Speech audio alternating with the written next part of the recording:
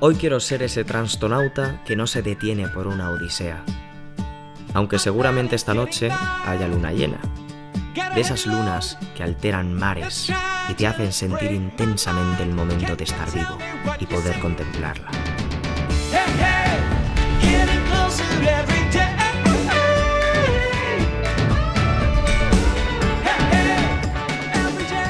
Esto es ridículo. ¿En serio?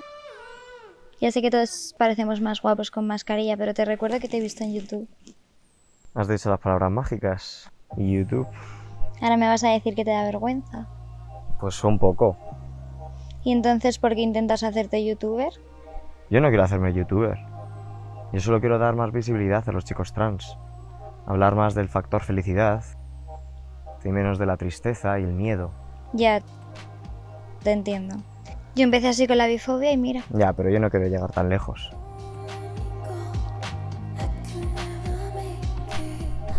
Me matas de curiosidad.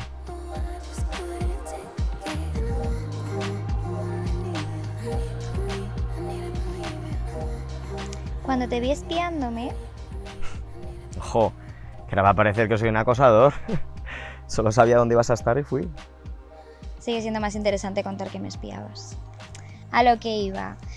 No se me pasó ni por un instante que fueras un chico trans. ¿Qué? ¿He pasado de la raya? ¿He dicho algo malo? Pues la verdad es que no lo tengo muy claro. Bueno, podemos cambiar de tema. Realmente soy muy cotorra. ¿Sabes que una vez estuve con un chico tres años y nunca llegué a correrme? Qué divertido, ¿eh? Nunca entenderé a las mujeres. ¡Ojo! A las mujeres. A ver, no quería sonar misógino. Deja que me explique. Por favor, no hagas que me arrepienta de haberte invitado a mi jardín. Que por cierto, precioso jardín. TikTok, TikTok, TikTok. TikTok. Y entonces, ¿ese novio tuyo sí que se corría? Sí. Y te tiras tres años con una persona sin que tenga un orgasmo contigo y te quedas tan pancho. Ay, ¿y tú no decías nada? A ver, el titular, tres años sin correrme, igual ha sido breve. Hay más trasfondo. Puede que yo tuviera algo de culpa porque terminé fingiendo. ¿Y por qué fingías? No sé. No quería que se sintiera culpable porque yo no conseguía llegar. Claro. Y a ti que te den, ¿no? O sea, que antepusiste su felicidad a la tuya. Mira en la heteronorma, ¿sí? Sí. Pero de las experiencias se aprende, ¿no? Son como lecciones. No como errores, que es lo que nos cuentan para que estemos todo el día dándonos latigazos por no ser heteroperfectos. Ya. Ahí tengo que romper una lanza a tu favor. ¿Quién no ha fingido alguna vez? Una pequeña mentira es mucho mejor que la cruda realidad. Pero tres años de pequeñas mentiras acaban siendo un universo de enormes mentiras. Vaya. Así que el perfecto Marcos, con su capa y disfraz, también ha fingido alguna vez. Hola. ¿Quién ha dicho que yo lleve disfraz? Aunque el tema de la capa me gusta. Mírale ahí. Qué mono. Con su barbita recién cortada, su pelito.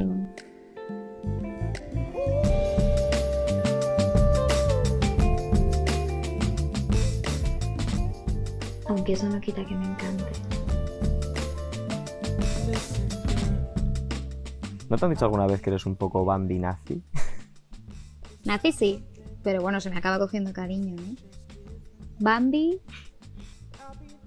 Es que en realidad tienes cara de niña buena, con esos ojos de Bambi. ¿Qué? ¿y ahora qué? ¿Qué de qué? ¿Feliz con tu vida sexual de ahora? ¿En serio me estás preguntando esto? Es un estudio sin estadística ninguna, ¿eh? Te he dicho que estudié sociología. No. Solo me has dicho que has estado tres años con tu ex sin correrte y me has tachado de perfecto. ¿Lo ves? Yo ya te he abierto mi corazón y mi jardín. Bueno, a ver, no quiero que me veas como perfecto. Antes de ser un transtronauta, pues había fingido alguna vez. Pero tres años ni de coña. No será realmente una actriz. Bueno, era joven. Siempre quise ser un poco mocatriz, pero bueno, al final, ni modelo, ni cantante, actriz.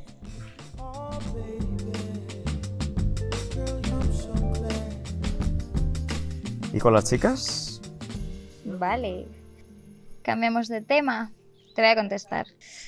La primera chica con la que estuve mm, no funcionó y empecé a pensar que el problema era yo. ¿Y luego cambió? Sí. Hubo un momento en el que llegó Carlota y todo cambió.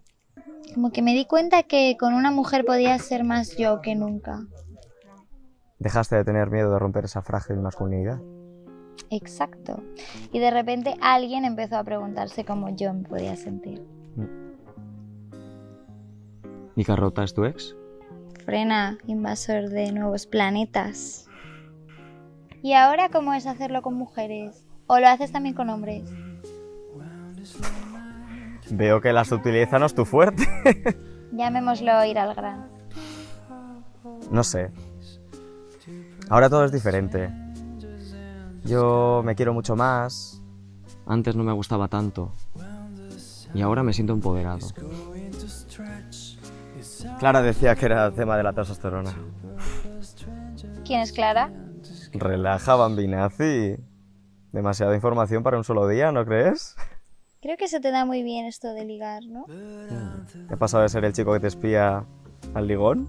¿A qué vas a tener el valor de negarlo? Voy a tener el valor de irme a mi casa, que tengo que trabajar. Ah, dejando con ganas de más para volver a vernos. Pues ahora que lo dices, sí. ¿Y a qué te dedicas? Hacemos una cosa. Vienes a mi casa la próxima vez y te lo cuento. Sí y no. A cambio, tienes que hacerte una foto conmigo. ¿Eh? ¿Y romper el contacto cero? ¿Aguantas mucho sin respirar? ¿Cómo?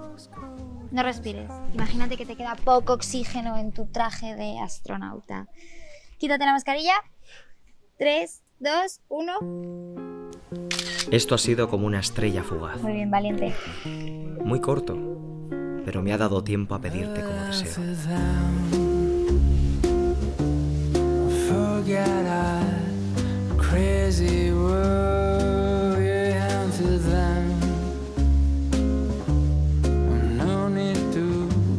Say a word.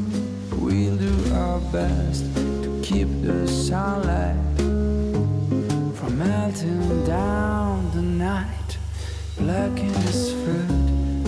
finally ripe for taking that last bite.